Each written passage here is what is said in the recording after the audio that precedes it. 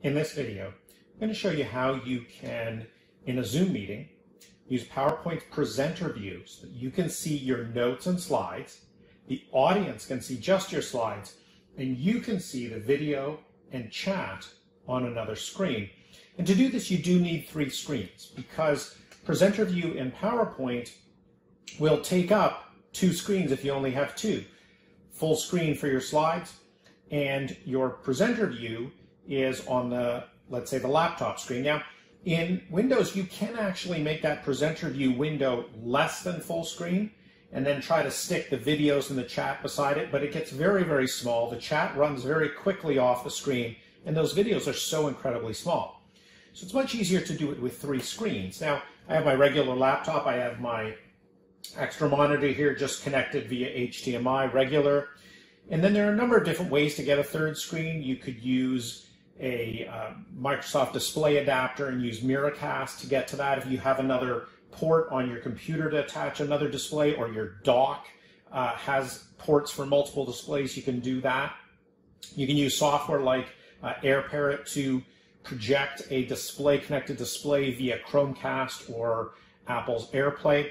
Or what I'm doing here is I'm showing you is an option that you have if you have an iPad or an iPhone. So I'm running a software called Duet Display. Duet Display is D-U-E-T display, and you go to duetdisplay.com and you download software for Windows or Mac, it works there too, and you download software for your iPad or your iPhone. Now the iPod, iPad or iPhone uh, software does cost, so there is a cost to it, but it's really quite minimal, 10 to $15 usually.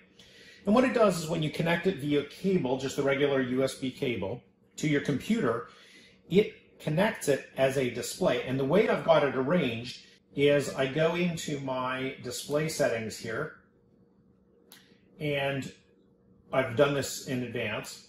And so what I've done is, is I've arranged the monitors so that they match what's on the desktop. So number one is my laptop, number two over here. And again, if you click identify, the numbers come up on the screen so you know which is which and then you drag them around to match the proper arrangement that you have on your desktop. So I have a Zoom meeting already running, and one of the things you need to do with Zoom is to turn on the dual monitor mode. So in the Zoom settings, in your Zoom uh, regular Zoom app here, if you go to the gear, the settings, under general, you want to make sure it says use dual monitors because that's what allows the video portion to pop out and be over there on that other display. So the other thing I need to do is I need to take the chat and if it is docked, you can, uh, there's a little arrow, you can pop it out and I can take that and drag it over to my screen here. Maybe I decide I want to make it a little bigger so I can see more of the chat while it's going on. And then in PowerPoint, what I need to do go to my PowerPoint presentation is I need to specify to PowerPoint I want the slideshow to show up on that monitor 3 over there. So on the slideshow ribbon, I'm going to go into setup slideshow and I'm going to be specific. I'm not going to let it choose automatic slideshow monitor. I'm going to drop this down and I'm going to say monitor 3 and depending on how Windows recognizes different monitors, it may actually tell you. In this case, it says Duet Display. And I'm going to click Use Presenter View. Click OK. So in Zoom, what I'm going to do now is I've got everything set up. I'm going to share that third screen. So the nice thing in Zoom, what it does is, is for the screens, it tells you one, two, and three. So I'm going to share screen three, share that in the meeting. And what I wanted to do is I wanted to make sure Zoom was on my laptop when I did that so that my controls are at the top of the screen here. Now in PowerPoint, I can say, okay, let's start up the slideshow from the beginning.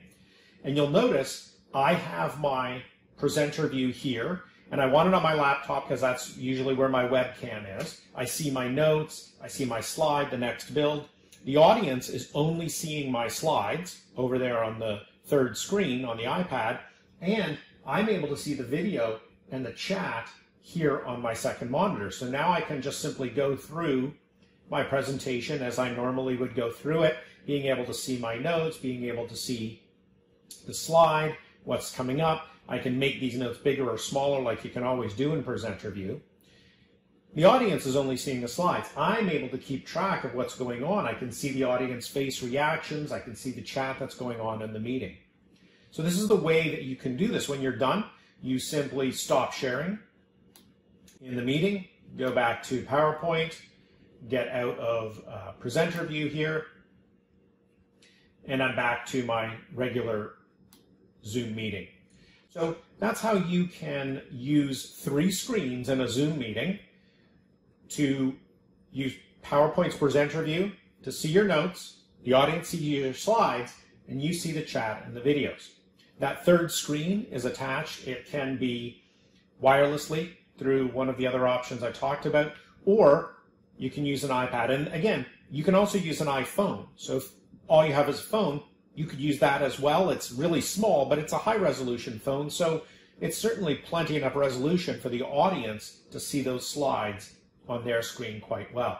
So consider that if what you're looking to do is to use presenter view while you see the chat and the videos in a Zoom meeting. If you found this video helpful, there are three things you can do to help me out.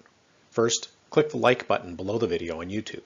Second, leave a comment with any questions or feedback. And third, subscribe to my channel. Check out my websites and other videos with more tips and advice. Thanks again for watching.